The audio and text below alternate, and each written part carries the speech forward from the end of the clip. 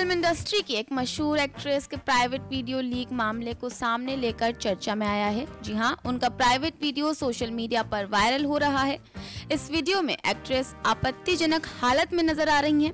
इस बीच social media users दावा कर रहे हैं कि ये वीडियो डीप फेक वीडियो है। जी हाँ तो वहीं अब तक एक्ट्रेस ने इस वीडियो को लेकर कोई खुलासा नहीं किया है।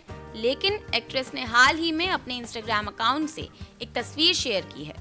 उस फ़ोटो के नीचे एक यूज़र ने आपत्तिजनक कमेंट कर एक्ट्रेस को ट्रोल करने की कोशिश की। एक्ट्रेस ने उस ट्रोलर को खरी खोटी सुनाई है। मशहूर तमिल और मलयालम एक्ट्रेस ओविया इन दिनों अपने प्राइवेट वीडियो लीक मामले को लेकर सुर्खियों में है।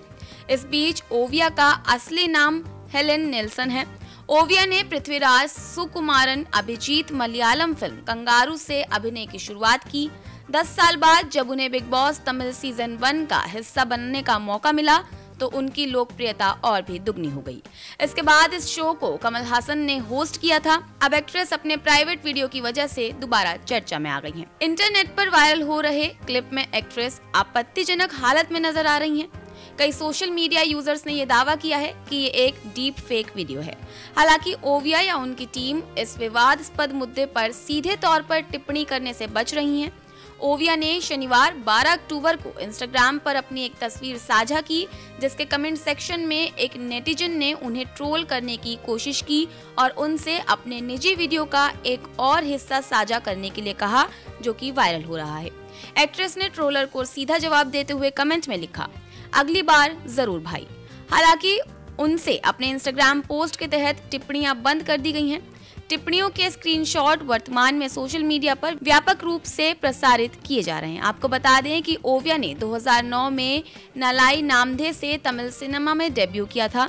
इसके बाद उन्होंने सिलानू ओरू, संदीपू, यामी रुक्का बयामी, हेलो नान पे पेनेरू जैसे फ़िल्मों में काम किया।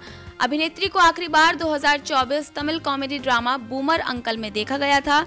जिसमें उन्होंने एक कैमियो भूमिका निभाई। ओविया ने अपने करियर की शुरुआत में मलयालम फ़िल्मों में सहायक भूमिका निभाई थी, जी हाँ वो साइड एक्ट्रेस के तौर पर अपने फ़िल्म की शुरुआत की थी। कंगारू के अलावा उन्होंने पुथिया मुखम, अपूर्वा जैसी फ़िल्में की हैं। वहीं कलामणि के निर्देशन सुरगुमन ने उनसे संपर्क किया था और उनकी फ़ोटो ऑनलाइन देखने के बाद डायरेक्टर ने उन्हें मुख्य भूमिका के लिए चुना था।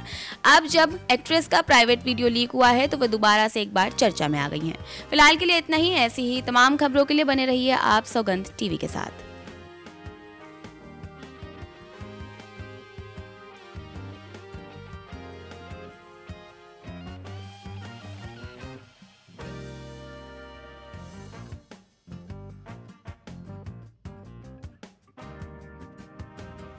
आप देख रहे हैं सौगंध टीवी, सौगंध वतन की।